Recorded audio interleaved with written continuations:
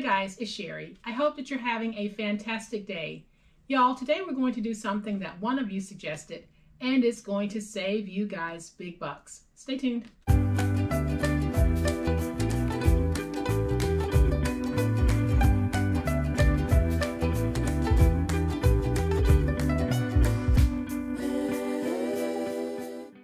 So welcome everyone to my channel. I am so glad that you decided to join me today and a big thank you to everyone who has bought me a cup of coffee as well as my monthly members group. You guys are going so far above and beyond and you are really helping me to keep this channel running and I truly, truly appreciate it. Today's idea is a fabulous idea that was sent in by one of you. Now I get a lot of ideas.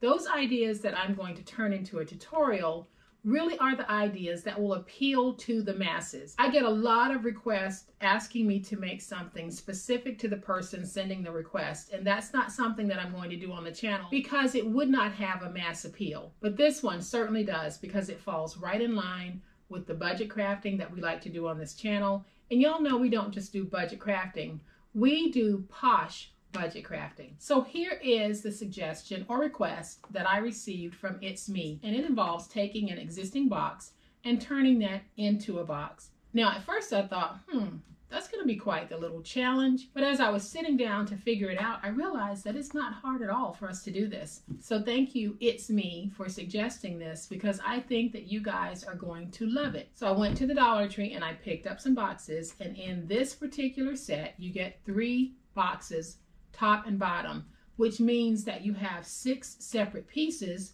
which means that you have six separate boxes. So I am going to show you a very quick way of taking one of these lids or bottoms and turning it into a box. And so here are some of the boxes that I've made. Aren't they cute? Each one of these was made from either a box top or the box bottom, however you want to look at that piece. And it only took one to make each one of these. So it cost me 51 cents total to make these boxes, but just the plain white boxes. So I then went back and I did just a light dressing by adding some paper to the top. And then on this one, I added a nice little embellishment, but these aren't things that you have to do. The purpose of this video is going to be to show you how to make the box and then how you choose to dress it or whether you choose to dress it is completely up to you. So y'all know what time it is? It's time to make it. All right, y'all, so here is a closer look at the boxes themselves. So I'm going to open this so that you can see on the inside, we just have that standard box that you can buy from the store, but we have taken it and modified it. So to make this size box, which is nine and a half by six and a quarter by one and seven eighths, I use these gift boxes from the Dollar Tree, and you get three sets in the pack. And quite honestly, I just love how these turned out. I used this size gift box from the Dollar Tree. And again, you get three pairs in a pack, which means that we are paying 17 cents a piece to make our box. So I was able to make this size box and it is seven and seven eighths by four and seven eighths by one and a quarter. And then I made this long box and it measures 10 and seven eighths by three and five eighths by one and a quarter. Now this would be a perfect tie box. Do we still do that? Do we still give ties as a gift? I don't know because I haven't done that in a long time, but I have given those nice funky socks that the young men like to wear. So this would also be a great sock box. And when you open it, again, it's just a standard inside. You can go in and line that inside if you want, but I'm leaving mine just as they were. So I'm going to show you the process. The process for making these will be the same no matter how you orient the box or the size of the box that you begin with. It is the process that's important. So I am going to just go ahead and open this and take out one of my boxes. And you can see I have pieces that look just like this, so they're consistent throughout. I'm just going to take one. And like I said, whether I decide to score it this way or I decide to score it this way, the process is the same. So the first thing that we need to do, and the most critical thing that we need to do, is we need to figure out how wide the sides are. So when I put my ruler down, my sides are 1 and 7 eighths. So that means that when we score to fold, we need to make sure that score is 1 and 7 eighths. So now that we know our sides are 1 and 7 eighths, and we know we need to have a centerfold that is 1 and 7 eighths so that they are the same height all the way around, we need to find the center of our box. And lengthwise, our box is 14 and a quarter. So we're going to take that 14 and a quarter and divide it in half. So that means that we need to find our center, which is 7 and 1 eighth. And so I am just going to make myself a little mark at 7 and 1 8. So I just made a score mark right there. All right, so now that we have our mark at 7 and an eighth, we need to take the side pieces, which are 1 and 7 eighths, and we need to divide that so that we can create our center fold. Now the way that we're going to do that, we're going to take that 1 and 7 eighths and we're going to divide it into two parts. So one part is going to be 1 and one part is going to be 7 eighths because we need one of these sizes to be larger than the other so that we can fold over. So what we're going to do is we're going to take the 7 and 1 eighth and we're going to move over to 8 and 1 eighth and then we'll just score.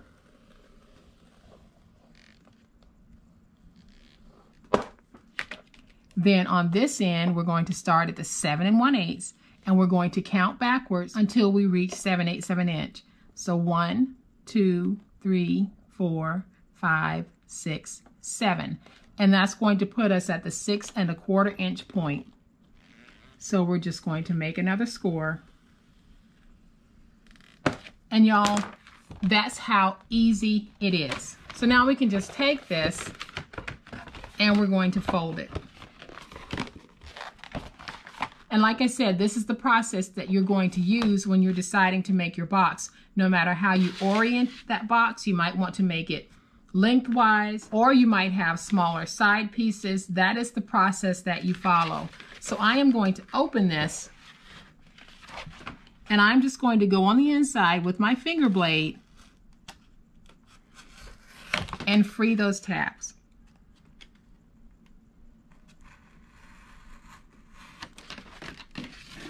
And I'll do the same thing over here. So we're just going to open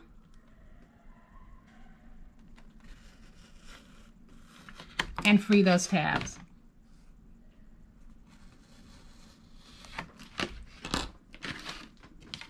And now I'll use my finger blade.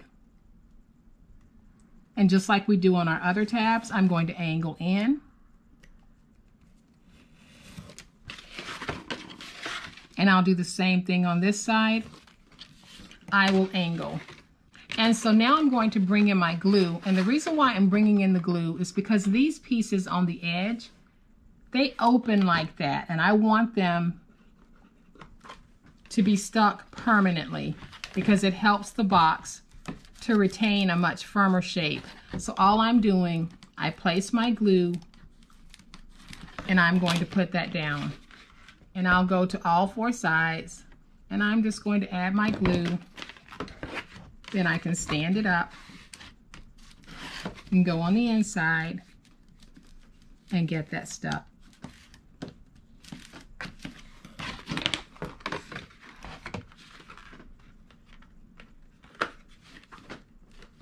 And then we'll do the same thing here. Add that glue and get it stuck. And you can see why I do that because if I didn't, then your sides will fold in like that.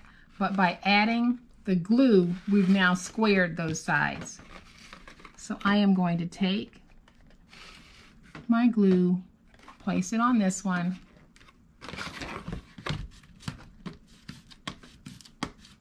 and I'll use my bone folder to go in there and get that stuck. And so just like that, y'all, we have a box. I am going to go ahead and take my glue place my glue on these flaps. I'll take these flaps and I'm just going to stick them like we would on any other box. We'll go on that inside, get that nice and stuck, and we will go on this side and do the same thing. So putting that glue down, I can stand it up we can get it stuck. And now I can take this, put it over the top. And y'all look at this. We have a beautiful box that fits perfectly. This is exactly what we would want if we were making this box from scratch. Look at how tight and right that lid fits. So it's me. Thank you so much for this awesome idea because now we can take these boxes that have already been cut and scored for the most part for us and we can turn them into our own boxes. So like I said, I am not going to dress this box because I'm going to use this box at a later date and I'm not sure what papers or embellishments I want to put on it. But this is all we do to make this box. And so the process that I just demoed for you is the process that you would follow regardless of the size box that you're starting with.